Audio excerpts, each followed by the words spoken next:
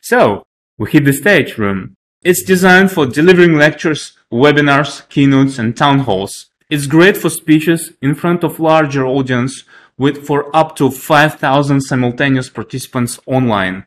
In comparison to workplace rooms or breakout rooms that are designed for up to 50 people, up to 5,000 people can participate with up to 16 speakers being able to join the stage. I'm a participant right now, right here. Uh, but why can't I become a speaker? Because I need to join the stage by pressing the become speaker button. Uh, only moderators, admins, or promoted guests that raise the hand can join the stage. So in this window, I need to just to check my settings with the camera and microphone, and then I'm going on stage. So there can be up to 12 speakers at the same time. They can share presentations or add embedded Miro boards so that everyone can see them and participate and collaborate together. I also see that this lecture is being recorded right here uh, with this timer of the lecture recording time. This can be checked by participants afterwards. All files of the recordings are stored within that room. If you press this uh, recording button uh, on the triple dot sign, just check. And here will be the recording that is available for download.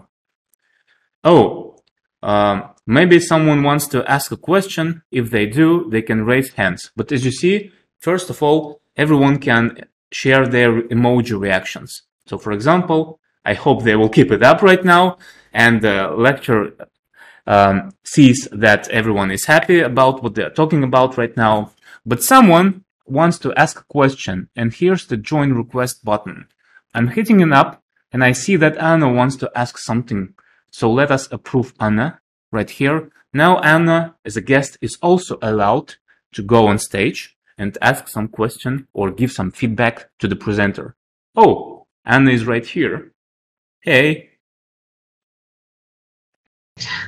Oh, I'm impressed by this collection. Have you visited all these places or was it an internet research? So as you see, contestant asks a question uh, and speaker answers. So this makes your event or a lecture memorable and um, with some feedback. Wow, I'm sure this lecture is memorable for everyone with the recording. Now let's stay out of the way and go to the next room, the workplace uh, that I will show you right in the next part of our video.